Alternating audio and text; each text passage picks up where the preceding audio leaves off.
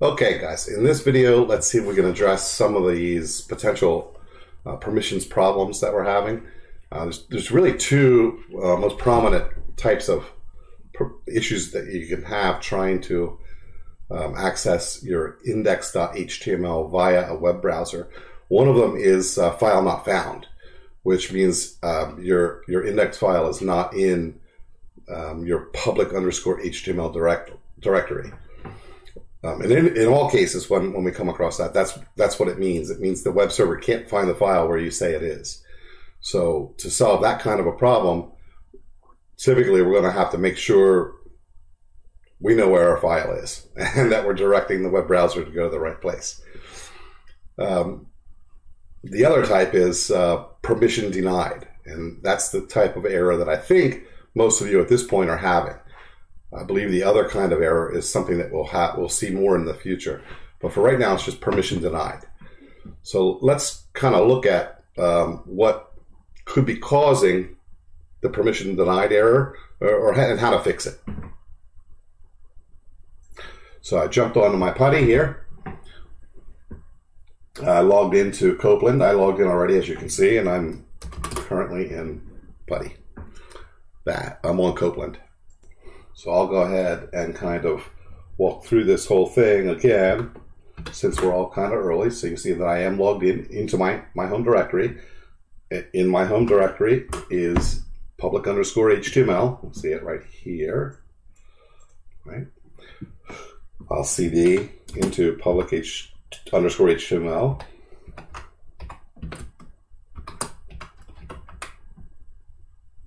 Okay. We'll do an ls there's my index.html sitting right there. So the assumption at the moment here is that you have an index, number one, you have an index.html file. If not, the, you'll want to see the uh, one of the previous videos where we uh, learned to use Pico and build the HTML file here, the index.html file.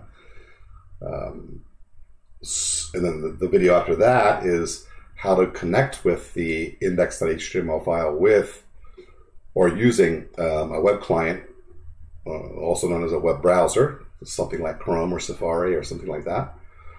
And so the assumption at that point is that you received some sort of uh, a permission denied error. Error, yeah, uh, and that's and that is, by the way, that's Apache saying that uh, it didn't have permission to grab the file that you want to see. Now, you didn't explicitly state. Hold on a second here.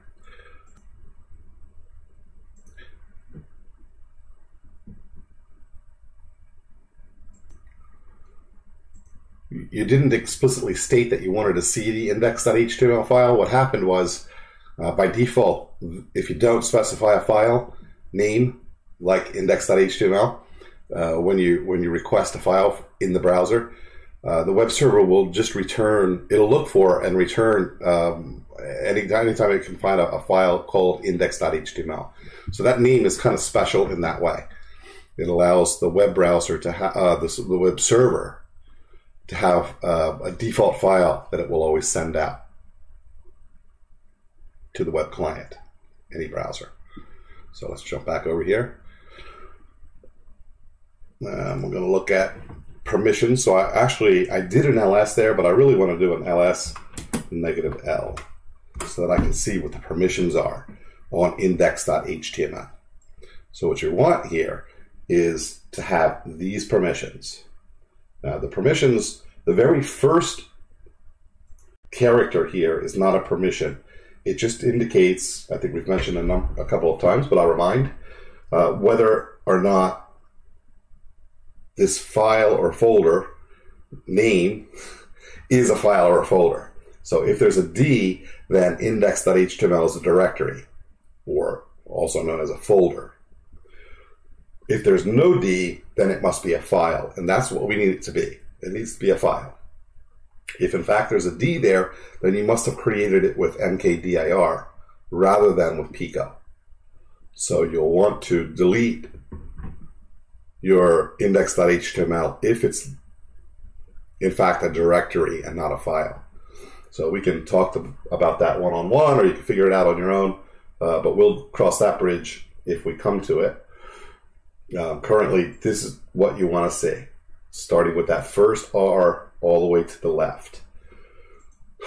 So if you do not have that, uh, then we're going to have to change the permissions. So what we the command for changing the, the permissions is chmod. So it'll be chmod, the permission set, and then the file name. So it's the command and two arguments. So the num and, and the, the the permission set, or I just call them permissions, uh, is three digits. Is a three digit number, and in this case, it's six four four.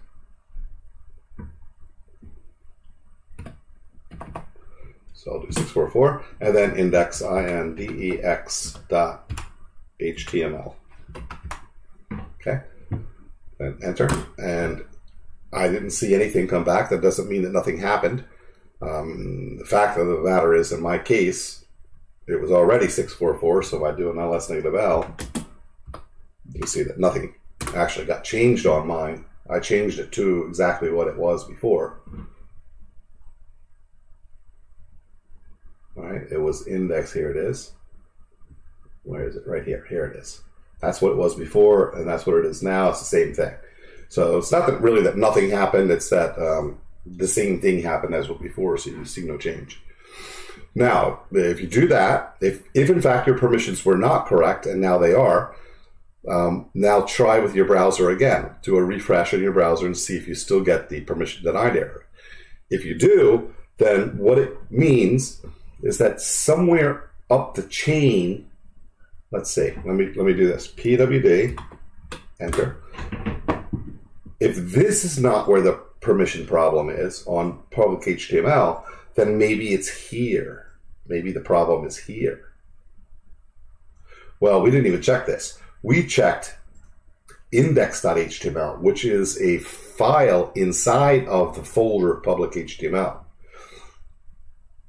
So we know this is correct, has the permissions set correctly.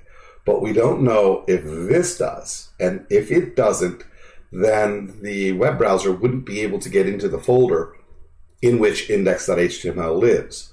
So in order to see the permissions on this directory, we need to be one above it so that I can do an ls negative l and see the contents of this directory include this directory right? And the negative L will tell me the permissions.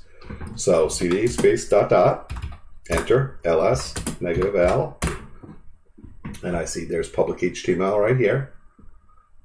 My, my well, I'm only to say my, my PWD is my home directory, right? Because I did cd dot dot, that put me here. Um, public HTML is what we're the folder, this directory here. So there's a D to the left, uh, the leftmost to the left of the permissions, there's a D. So public underscore HTML is a directory, and the permissions that we want on that folder, that directory, are these. So now, if they are not correct on yours, then do ch. We want to change them, right? Did I just push them there? chmod seven five five space, and then public underscore HTML.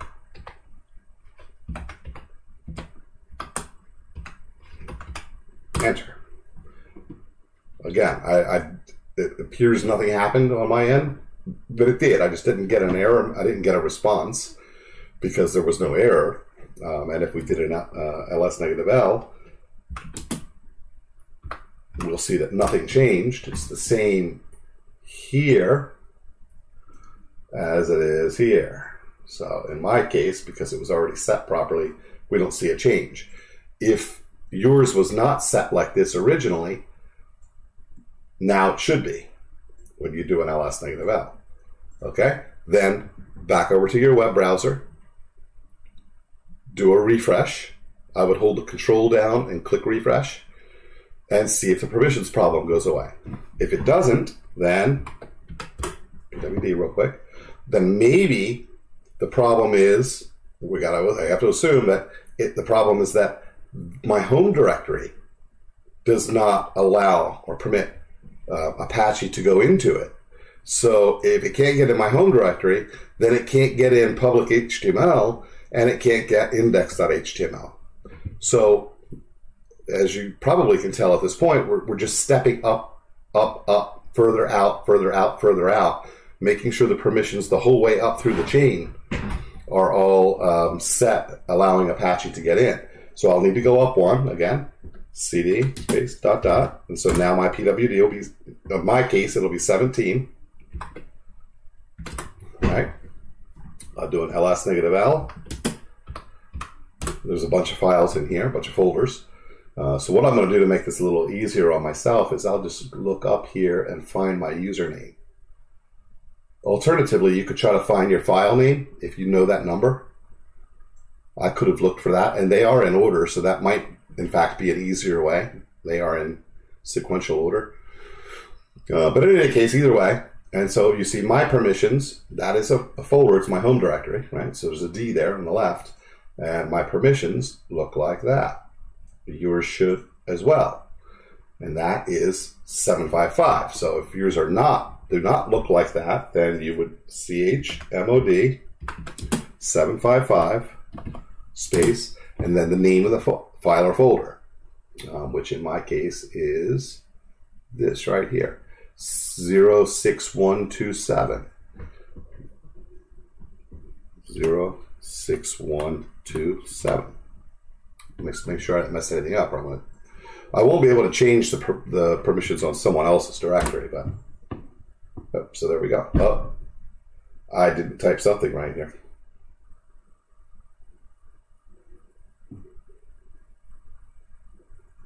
06727 I typed in. I don't believe that's what I was supposed to type. 06127 I was. So you see I made an error. Now, I'll use the up arrow key on bash uh, so that I can I can pull the, the command from bash history. 76, I'll just go over and change that 7 to a 1. Enter. And there is my file. ls negative l if yours was incorrect, you should now, when you do an ls negative L and you look at it, you should see that. All right? So, I let me come back over here. So I think that should solve. I, I believe it'll solve all of our um, permissions errors. If not, we're, it's something that we'll, we'll want to work with, I guess, in, in, during class, um, during our Zoom meetings, so that I, I can kind of get a feel for what is precisely going on with yours. This is a general idea here. Um, uh, generally, that's what's going to be wrong. One of those things. One of those, fi- the file or one of those folders doesn't have the permissions set properly. Is is what what's happening to you. So hopefully it's fixed now. At this point, I don't know if I mentioned it. Did I? I forgot. No? Uh, you'll, you'll want to refresh the browser again. Of course, we want to try it, and, and hopefully it's solved right there. If it hasn't been solved already, it's solved now. If not, let's talk about it further in class and figure out what is going on with yours. So that will do it for us on this one.